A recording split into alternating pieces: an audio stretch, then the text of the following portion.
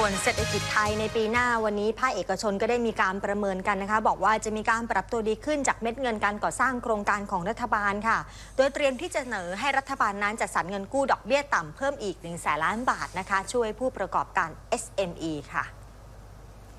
ในการประชุมคณะกรรมการร่วม 3 สถาบัน หรือกกรประกอบด้วยสภาหอการค้าแห่งประเทศไทย สภาอุตสาหกรรมแห่งประเทศไทย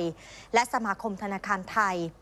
นายอิสระว่องกุศลกิจประธานสภาหอการค้าแห่งประเทศไทย เปิดเผยว่า ที่ประชุมเชื่อว่าในปี 2559 เศรษฐกิจไทยจะปรับตัวดีขึ้น เนื่องจากจะมีการผลักดันการก่อสร้างโครงการขนาดใหญ่ของภาครัฐ ที่จะทำให้มีเม็ดเงินเข้าสู่ระบบกว่า 1 0 0 0 0แสนล้านบาททั้งนี้ที่ประชุมได้เตรียมเสนอให้ภาครัฐ เพิ่มวงเงินสินเชื่อดอกเบี้ยต่ำหรือว่าซอฟ t ์โลนแก่ผู้ประกอบการ SME เพิ่มอีก 1 0 0 0 0แสนล้านบาท เพิ่มเติมจากวงเงินเดิมที่หมดไปเมื่อวันที่ 30 พฤศจิกายนที่ผ่านมา แต่ให้ลดวงเงินช่วยเหลือจากรายละ 50 ล้านบาท เหลือรายละไม่เกิน 15 ล้านบาท เพื่อให้เงินสินเชื่อกระจายไปถึงผู้ประกอบการได้มากขึ้น